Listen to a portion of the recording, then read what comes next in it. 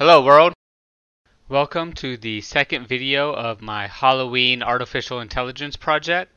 Today I'm going to do something really simple and show how to make your Raspberry Pi talk using the Python text-to-speech library.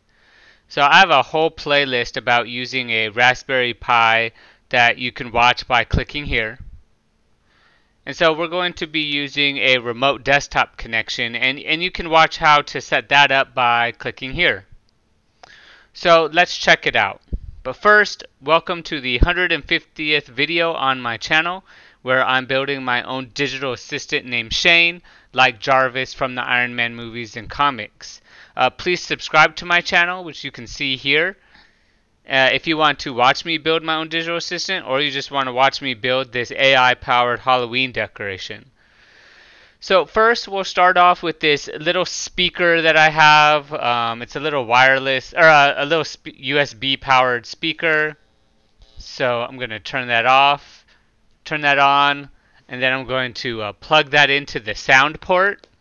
So it's just a standard sound port and then I'm going to, uh, I already have it plugged in, but I hooked this up to the power.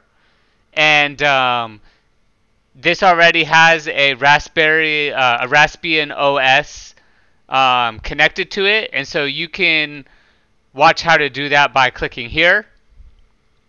And so now we're going to set up a remote desktop connection. So like I said, I have a video on how to do this. So I just click to that remote desktop connection and then you'll need the IP address. So I use a um, an app on my iPhone called Fing, F-I-N-G, and I was able, you can search your Wi-Fi and find the Raspberry Pi IP address. So I encourage you to watch my video on how to do that. So we're going to connect, and the default username is Pi, um, and I have changed my password.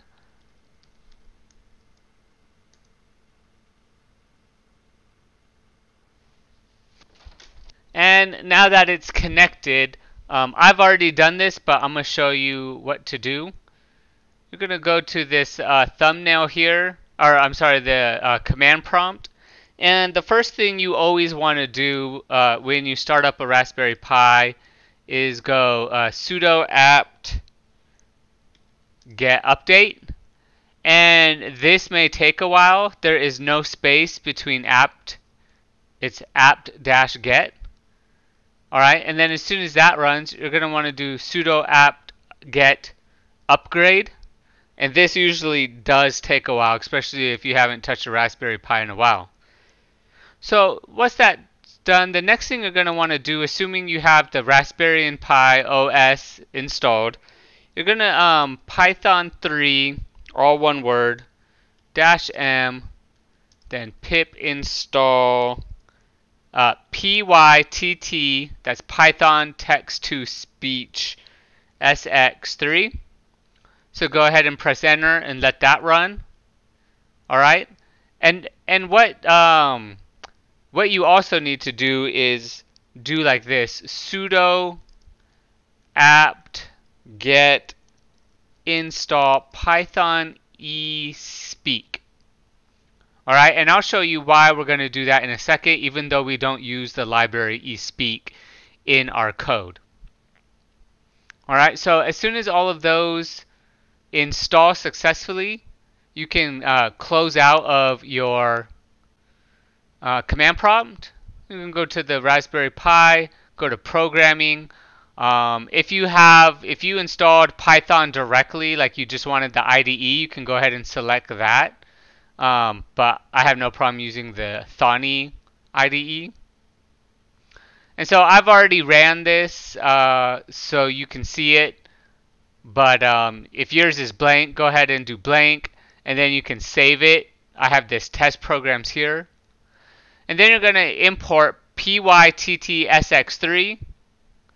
Then you're going to create a variable called engine. So engine equals pyttsx3 dot init. And then you're going to call that using the brackets or the parentheses. And then you basically put in anything you want. And this is the basis if you've been a long time subscriber of my whole uh, Shane digital assistant is using this library.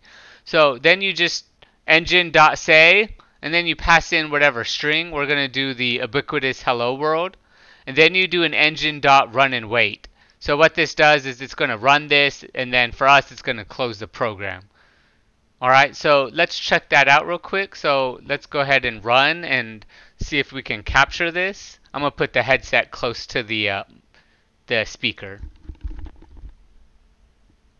Hello world. Alright, I hope you use that. I'm going to try that one more time. Hello world. So that, that voice is a little different. Um, I need to create a script for the Halloween decoration and I'll determine which voice. But let's see what it sounds like. It sounds kind of computer British to me. So please subscribe to my channel. Let's see if it gives inflection by the exclamation point. Okay, we're going to save. And now we're going to run it. Please subscribe to my channel. Alright, so that was pretty robotic. So I'm going to need to consider changing the voices, which we'll do in a future video. So that's pretty much it. Um, let me show you why we um, put in the eSpeak, why we installed that. So I'm going to stop and quit. Alright, then we're going to exit this. Alright, so if you did not, uh, if you just do the PyTTSX3 just like you would in a Python program, uh, you're going to be missing a uh, essential library. And so you're going to get this error right here. OS error lib espeak cannot open shared object file, no such file directory, and you're going to get a dozen uh, errors like this. So um, that's what happens, and the the fix is super quick. You just download that eSpeak, and uh, it downloads all these files right here that it's looking for. Alright, so I hope you enjoyed this video. I hope that you can uh, create something special. Uh, please leave a comment if you're building something with your Raspberry Pi and the Python text-to-speech. Um, please consider subscribing to my channel to watch what I do with this and how I incorporate it into my Halloween decoration. And thanks for watching. Goodbye, world.